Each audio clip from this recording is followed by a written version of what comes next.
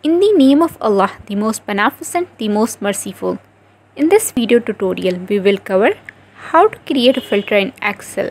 At the end of this session, you may able to filter out the relevant data within a table effectively. Let's have a look.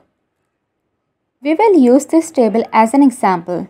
The first thing to do is to use the header to select the column in which you want to apply the filter. Let's select the header months, days and season name.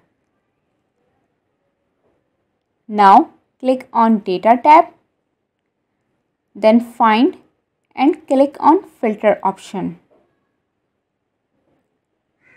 Excel will create these drop down arrows or button in the cell containing the header of the selected column. You can use the button to filter out the information you need in each column. Let's say we want to filter out only the summer months.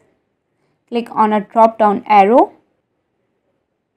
All the options are selected by default. Unselect the option by clicking on select all.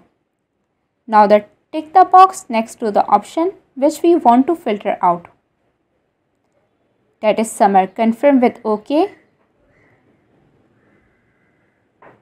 You can see that only the summer months are now displayed in the table.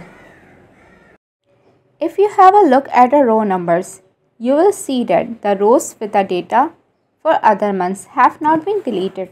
They are only hidden. Look, there is a rows 2, 8, 9, 10 follow up with 15. Now we can carry on. Suppose you need to do some more filtering. Let's say you want to filter out months that have 31 days only. We will do what we have already familiar with.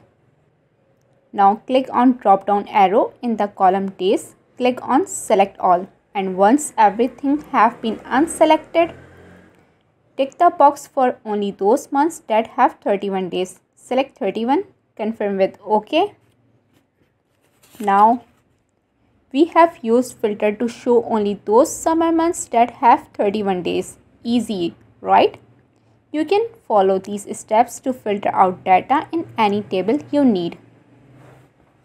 Thanks for watching